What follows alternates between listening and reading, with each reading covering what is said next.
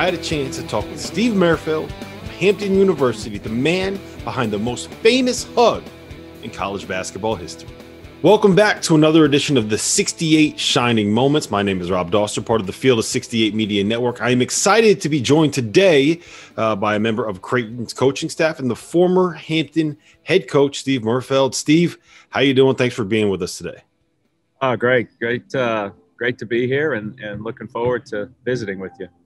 So we have you on because of the upset that that your Hampton team pulled over number two seed Iowa State in 2001. And there's plenty I want to get to into about the game itself. But uh, first, I have to ask you this: the, the picture of you getting picked up with your arms in the air and your feet in the air by, I believe it was um, David Johnson, is, maybe the most iconic image when it comes to kind of the uh, the darlings of the NCAA tournament and, and March Madness and Cinderellas and all that. So I'm curious, like, what is it like to know that that that image of you is going to live on forever? Every March, we are going to see that clip, see that picture, see that video. What is that like?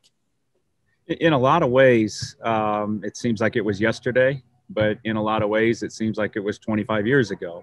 Um, you know, obviously, a, a, great moment for Hampton University. The crazy thing about that whole deal, Rob, is I remember none of it. It was like I was in a in a different world, and and absolutely remember nothing other than you mentioned David Johnson. I can remember David Johnson like it was yesterday, saying, "I got you, coach. I got you, coach. I got you, coach." But other than that, I don't. Some people thought I was going to do a cartwheel. I couldn't do a cartwheel to save my life. So w- when he picks you up like that, what, what's going through your mind?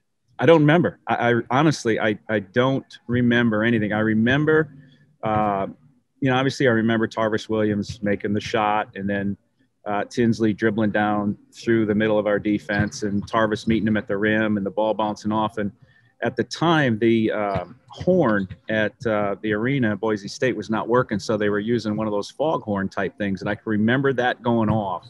And after that, I don't remember anything um, until, like I said, I can remember David saying that to me, but I don't know where I was or what I was doing.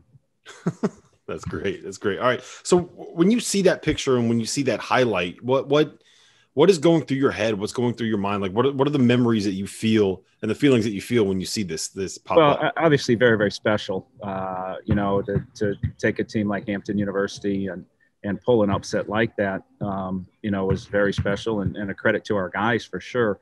Uh, but yeah, it, it, it's it's heartwarming, you know, to see it. And, and as you mentioned, you know, every year CBS seems to put it back in there, uh, which certainly brings back good memories. I actually got a text from Tommy Adams, uh, one of the guards on that team last night, you know, talking about there was something that somebody sent him, you know, as tournament time comes. Uh, so great, great moments for all of us. So let's go back to the, um, before the tournament actually happens, before the game is played. The bracket is announced. You guys draw Iowa State in, I believe it was Boise, Idaho.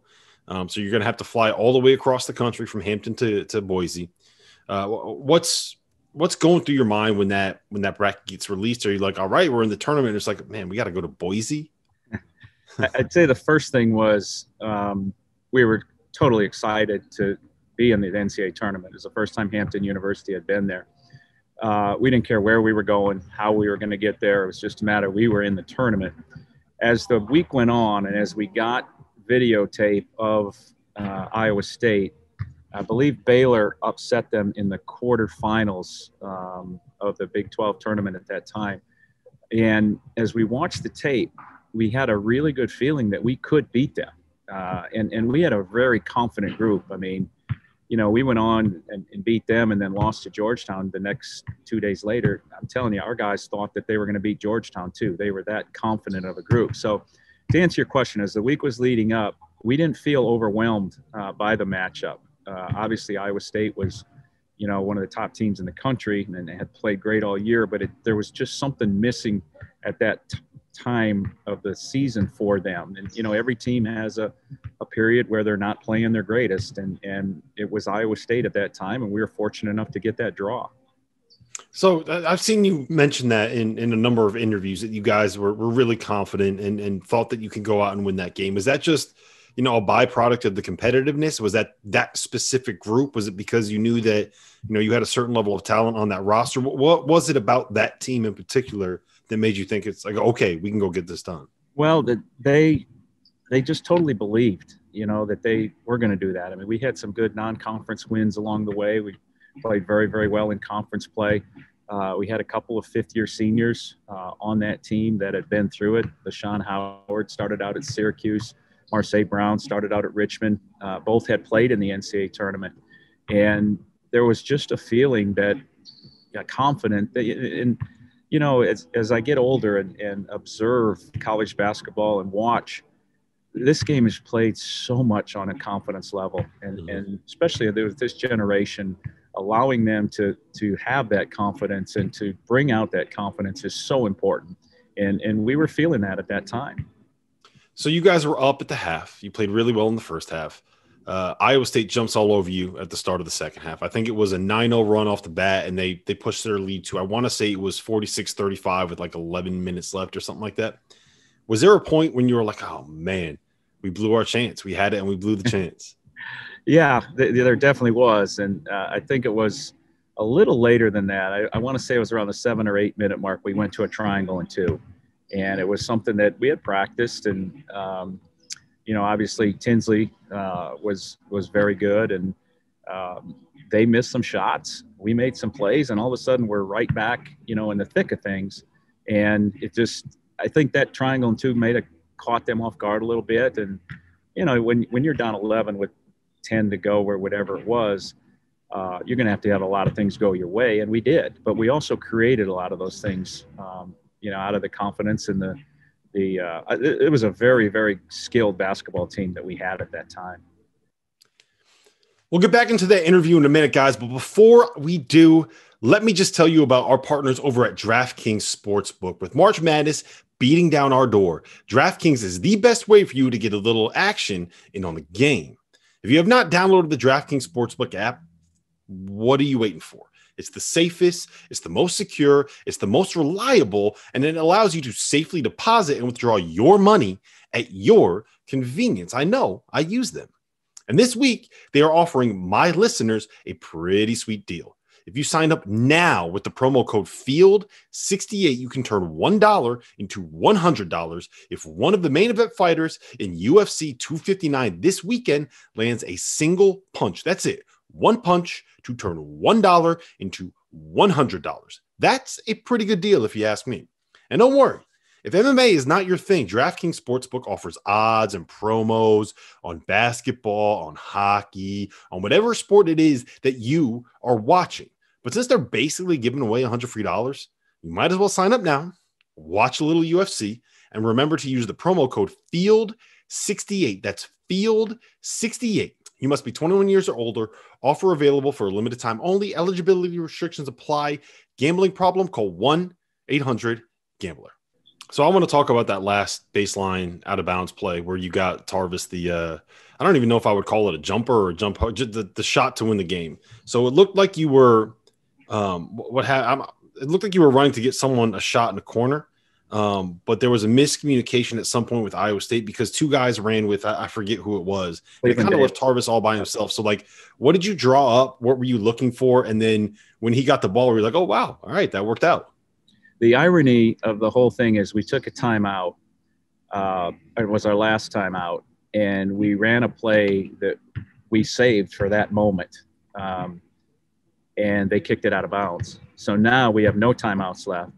So we just went to our basic bread and butter play. And, you know, this was how that team was built. You mentioned it. Cleveland Davis broke to the corner, could have jacked up a shot, might have made it, might have missed it he passed it to Marseilles Brown, who was our point guard and creator, and he didn't flinch. He got the ball where it was supposed to go in that specific set, and Tarvis rose up and made it. I mean, it was it was kind of amazing um, that both those guys, Cleveland Davis and Tarvis or uh, Marseilles Brown, uh, just did what they were supposed to do in the heat of that moment, and that's why that team was successful. They believed in each other. So the uh, this was definitely one of those moments where going the other way, Jamal Tinsley gets the ball, slices through everybody like you would expect a, an NBA point guard to be able to do, gets to the rim, lays the ball in, and it does one of those spin around things and then just kind of hung on the rim. Do you do you re- remember that? Like, what were you thinking when the ball was just sitting there on the rim? Were you like, please fall, please fall? Were you like yeah. trying to wave the air? Were you blowing yourself? Like, what was yeah, it? Yeah, again, I, I, can remember it uh, for sure. And like I mentioned before, I remember the blowhorn going off, and and you know, this is unreal. You know, is is my feeling. But you know, as he got to the rim, Tarvis Williams was there uh, to distract him. Tarvis led the nation in shot uh, block shots both his junior and senior year. So uh, I'm sure Tinsley, you know, felt a little bit of that, but it's probably a shot. I mean, let's be honest, it's probably a shot he's going to make eight out of ten times. And uh, fortunately, it it rolled around as you mentioned and, and fell out, and and the celebration began. It's amazing how close some of these things are. Like if that ball just happens to fall the other way, you know like the, how different is is your life right. how different is hampton basketball program like it, it's it's a you, you know they say it's a game of inches and, and that's kind of a cliche and it's kind of annoying when that happens but like it's kind of a game of inches in a lot of in a lot of senses well, it, 100%, Rob, and that that's you know I'm just very very thankful for Hampton University and our players. Um, you know, as you mentioned, without having that success, you know, I didn't play college basketball. I, I'm kind of an outsider in that regard where does my career go, you know, from there? So 100% uh, correct in that um, it is a game of inches, um, and and sometimes you're on the good end of it, and sometimes you're on the bad end. So I'm always curious about this, right? You pull off this amazing upset. It's an unbelievable moment. It's it's something that you're going to remember for your entire career, and then you know you still have to go play Georgetown in like 48 hours or 46 hours or whatever it is. So at what point do you stop the celebration and start looking forward? At what point do you say, okay, that moment's gone. Now we got to keep it moving. We got to forget about what just happened. Like, I, I got to imagine that right there is the hardest part of pulling off an upset because you want to be able to celebrate it. Right. But like, you also have to start getting ready for your next game. Yeah. You, you know, you have to enjoy it for sure. And, and I can remember uh, telling our sports information director, Patricia, at that time, because, you know, as you have an upset like that, everyone wants to talk to you. And, and, I just said, I'm, you know, you're going to handle all this. I want no phone calls. Um, and she did a beautiful job of that. But I do remember uh, one of my, probably my my uh, mentor from college and like a second father to me, to, just said to her, "No, no, you don't understand. I am going to get through, and I am going to talk to him. So put me through." And and uh, but but she did a great job of of um, uh, holding the media off and you know I, I think I went on CBS the next day or something like that. But there, we get focused back on Georgetown, and, and as I mentioned before, Rob, they thought they were going to win, and it was a very very similar game uh, to the Iowa State game where we're right there. The crowd is behind us now. The place is rocking, and uh, you know about that same eight nine minute mark, uh, they pulled away and and uh, we never recovered from it. But you know, I thought our guys played great as well. We just they were just so big and strong. So I'll, I'll end it with this: um, How often do you get asked about this game? How often do people say, "Wait, are you you're the guy from Hampton? You're the guy that was picked up right. by his players?" And and how has this kind of changed? Uh, has it changed anything in like your day to day when it comes to you know just kind of how you you go about your day? This time of the year, for sure. You know, because um, as we're doing right now, everyone wants to you know hype up the tournament and, and make the most. And and there are great moments uh, throughout it. Um, you know we at the time where i think we're the maybe the fourth number two seed. Mm-hmm. um, at that time now there's been more since then. Actually there's a number one seed that went down. Uh, so a lot of that attention is not on me anymore. It's it's focused on other people but but i enjoy reliving it. Um, you know every once in a while you'll you'll you know a basketball junkie will you know, you get introduced to somebody and they'll say, Steve Merfeld, well, where do I know that name? And all of a sudden it'll come to them and they're like, you're that guy. uh, so yeah, it's still there. And, and, uh, none, neither of my, my daughter was born at the time, but not old enough to remember of it. My son was not born. So they get a kick out of their dad acting like a fool every once in a while as well.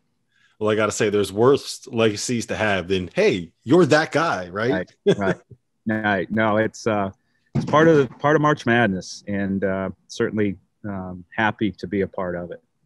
Well, listen, man, I appreciate the time. Thank you for hanging out with us. And uh, for people that are watching this, you're actually doing this right before a game. So good luck today. Go get that win. Hope you beat Nova. I appreciate that. Thanks, Rob.